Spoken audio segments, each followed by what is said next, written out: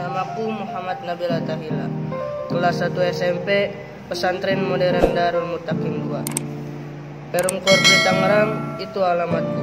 Karena ketika itu, aku pertama kali menginjakan kakiku di pondok pesantren ini. Menaruh semua barang-barangku di lemari, menaruh niat baruku untuk menuntut ilmu.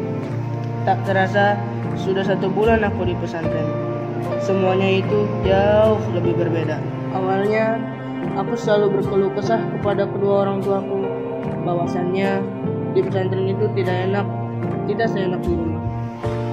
Aku selalu meminta kepada kedua orang tuaku untuk keluar dari pesantren karena aku tidak betah jauh dari orang tua dan jauh dari teman-temanku yang ada di rumah.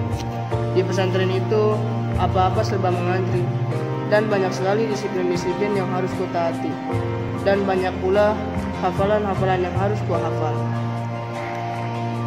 Tapi setelah kulihat semua guru-guruku, semua ustadz-ustadzku, semua kiai-kiaiku, mereka semua mampu melewati itu semua.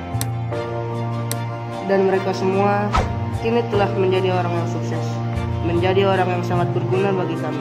Dan kini aku mulai mengetahuinya. Hidup di pesantren memang seperti ini. Mungkin ini akan menjadi masa proses suksesku nanti.